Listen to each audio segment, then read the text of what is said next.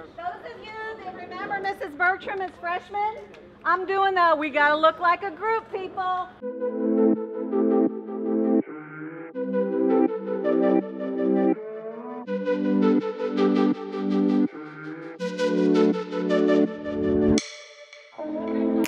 First of all, my name is. Pullman. If you, if you don't know who I am uh, already, uh, thanks for coming down and, and being, being part of this. What we want is we want to get kids together in the same room, um, and we want to be able to share our experiences with one another. Do not be shy. Do not be scared. Be willing to listen and be willing to be, have an open mind. We had you guys put your name and then a word to describe yourselves. The word I put for myself is changed. I look dramatically different uh, than I did about 12 months ago. Um, this about this time last year, I was diagnosed with throat cancer. In the last 12 months, I've gone through chemotherapy. I've gone through radiation therapy. Um, that's why my voice is so jacked up. I still do chemotherapy every Monday. Um, that's why I'm bald. I used to have a lot of hair. I used to have blonde hair. People used to compliment me all, all the time. It's gone.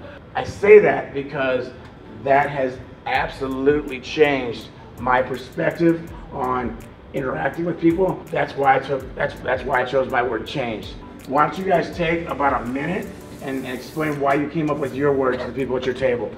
My name is Deshaun Williams. I play energetic because I play football. So like every time we in the locker room or in the weight room, I'm so hype all the time. Like music playing, I'm dancing, I'm jumping around, like energetic all the time. So if you ever see me, that's that's how I really am my words is too hot to handle because some people can't handle my personality because like I could be alive, but it's okay. I can handle it. I love me, so that's really like all that matters to me.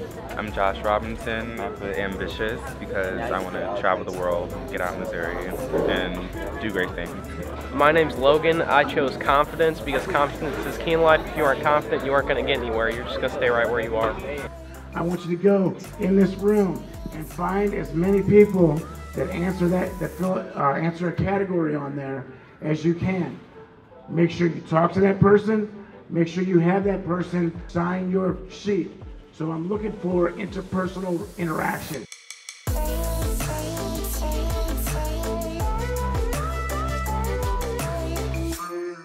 Here's the thing, we go through life not realizing that all the people around us are viewing the world through a lot different window than what we are.